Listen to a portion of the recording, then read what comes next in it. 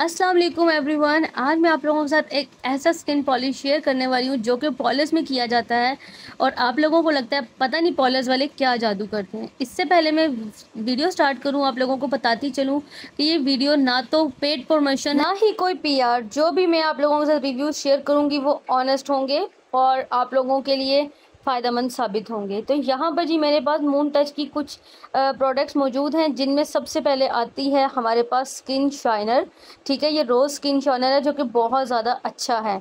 आप skin polish में, आप लोगों ने अक्सर देखा होगा कि पॉलर्स वाली ज़रूर यूज़ करती हैं। उसके बाद है जी मेरे पास एक डेवलपर है और एक पाउडर है, जो कि मून टच का ही गोल्ड पॉलिशर है।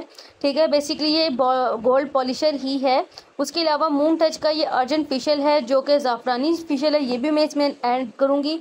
और मून टच का ये वाइटनिंग सीरम है, जो इसके अंदर हम लोग ऐड ऑन करेंगे और इस तीन चीज़ों को मिलाकर हम अच्छी सी स्किन पॉलिश रेडी करेंगे। तो इनके जो रिज़ल्ट्स आएँगे, वो भी मैं आप लोगों को लाजमी बताऊँगी। तो आप लोगों ने वीडियो को कोई भी पार्ट जो है ना, उसको स्किप नहीं करना। तो यहाँ पे जी एक बाउल ले लेते हैं। एक बाउल के अंदर मैंने एक चम्मच जो है ना ले लेना है पाउडर का, ठीक है? ये पाउडर जो होता है गोल्ड पॉलिशर का होता है और इसके अंदर मिनरल्स वगैरह काफ़ी चीज़ें ऐड होती हैं। अच्छा यहाँ पे ना, मैं आप लोगों को बताऊँ, जो क्वांटिटी मैं आपको बता रही हूँ, आप लोगों ने उसी हिसाब से लेनी है। अगर ऊपर नीचे करेंगे कुछ तो वो फिर स्किन को डैमेज भी हो सकता है। इसलिए जो क्वान्टिटी बता रही हूँ, उसको मैयर कीजिएगा। तो यहाँ पे जी मैंने एक चम्मच पाउडर डाल दिया था। अब एक चम्मच जो है ना, इसके अंदर मैं अर्जेंट फेशियल का जो है ना, वो ऐड करी। एक चम्मच पूरा नहीं ऐड किया, एक चम्मच से थोड़ा सा कम ही ऐड किया है मैंने। ठीक है?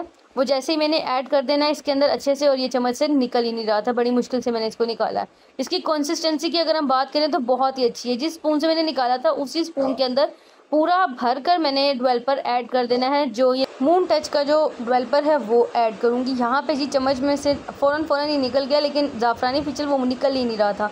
खैर, यहाँ पे मैंने इसको निकाला। अब हम डालेंगे इसके अंदर एक चम्मच स्किन शाइनर आप लोगों ने अक्सर देखा होगा कि जब भी आप पॉलर से जो स्किन पॉलिश वगैरह करवाते हैं ना तो आपकी स्किन के ऊपर एक शाइन होती है।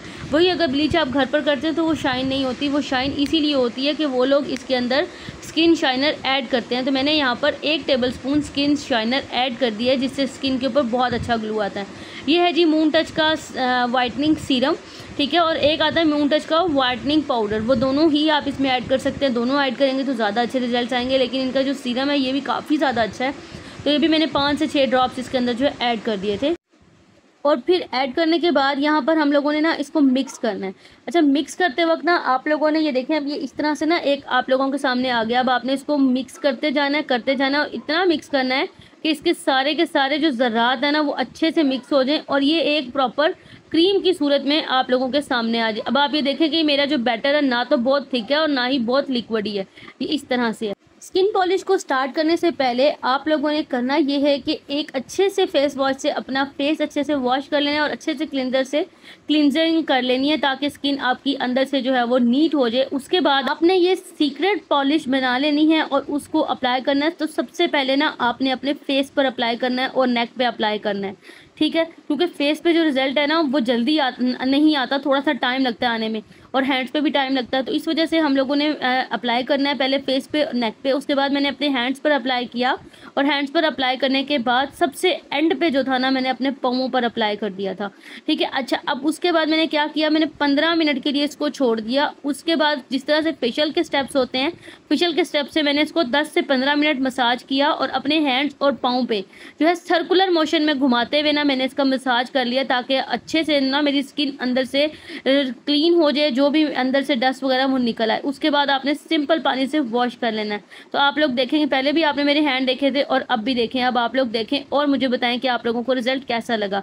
अच्छा यहाँ पे ना मैं आप लोगों के साथ एक चीज़ शेयर करना ज़रूरी समझती हूँ। अगर आपके फेस पर फेशियल हेयर है और आप चाहते हैं कि जो गोल्डन हो जाए तो ये ब्लीच क्रीम ना आपके फेशियल हेयर को गोल्डन नहीं करेगी।